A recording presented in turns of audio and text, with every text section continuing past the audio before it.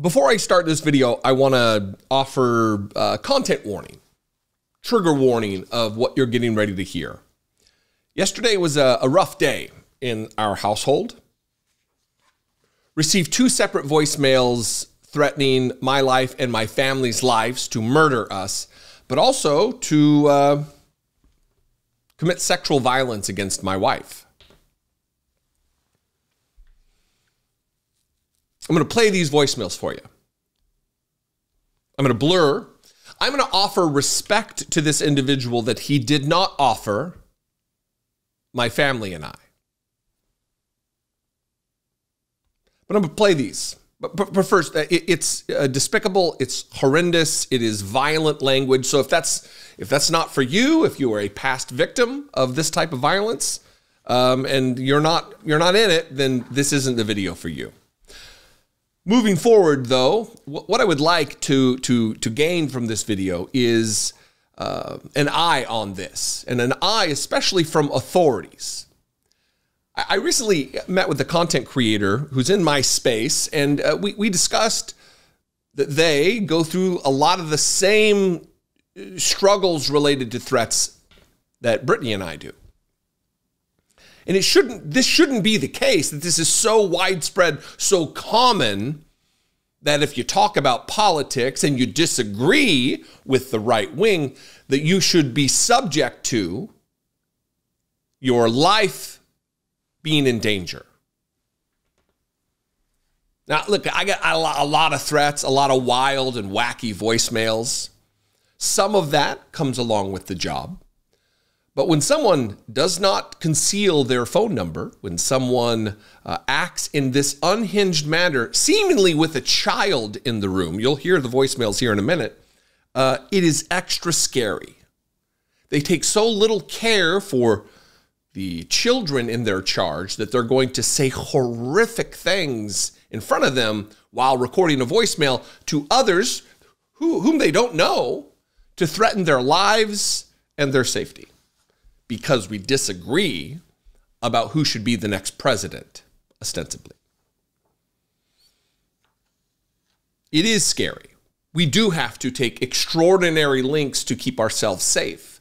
And the reason I want uh, you first share this video uh, and tag these particular outlets because we've we've talked about uh, moments like this in the past with the authorities and nothing satisfactory really ever happens.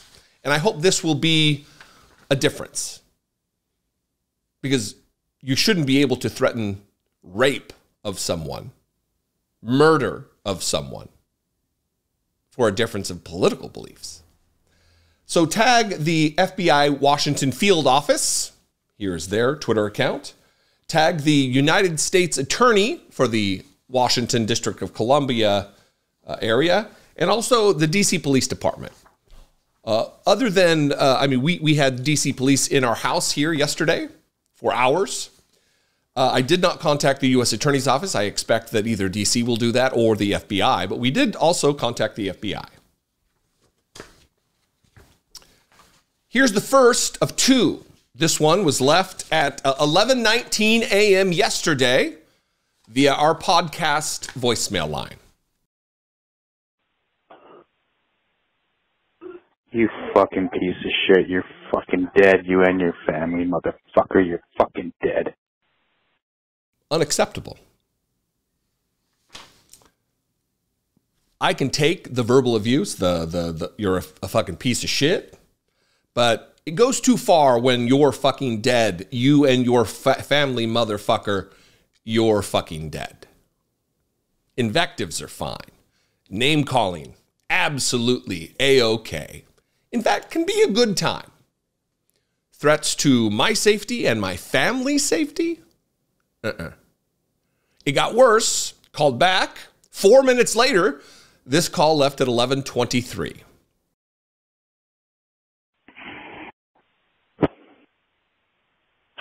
Your wife is an ugly fucking cunt. We're gonna rape that fucking ugly bitch and kill her, you cocksucker. Again, invectives, uh, denigrating my wife, her looks, whatever. um, that's fine.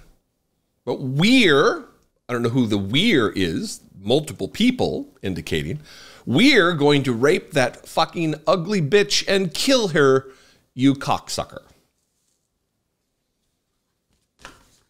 Donald Trump has created uh, a world where this is normal, normalized, and acceptable in certain circles. And it is permeated American society. The uh, Public Religion Research Institute re- recently did a poll, and they found that the share who, the share of Americans who say they agree with this statement has grown. This is the statement. American patriots may have to resort to violence in order to save the country. So, Donald Trump, with his retribution talk, with his bloodbath talk, with his poisoning the blood of our nation talk, promotes this type of abuse, of threat, to gin up fear for the ultimate uh, what they hope to be the case is to silence me and to silence my wife, who has her own YouTube channel, who who who is my podcast co-host for over 10 years. In fact, the best way to make sure this doesn't work would be for you to go over and subscribe to her channel. That would be the worst thing for this guy. It's the thing he does not want. He wants our, us to shut our mouths about the truth about the facts, about the headlines, about the, the, the reality on the ground in the United States of America. The, the, the, the, ultimate outcome that to, to, to come from this would be for uh, Brittany to increase her reach. Look at those numbers again. 33% of Republicans believe that they may have to resort to political violence in order to save the country. And saving the country means installing Donald Trump as president of the United States, whether that be extra constitutionally or extra democratically. We currently have state Republican parties talking about how they want to do away with democracy, quote unquote. And they'll try to attain it any way that they can, up to and including killing me, killing my wife after having apparently raped her. What do you think? This is not the way that it should be. 714 576 4054. You can also email me daily at dollemore.com. As always, I welcome your input. As always, I talk about leaving comments below that we can disagree agreeably. Not for some, though. If you appreciate my work, if I do something for you that brings you value on a day to day basis, please consider supporting this work here in independent media. Click the join button below for $2 a month. You can help me produce these videos and reach the millions of people that I do every single month.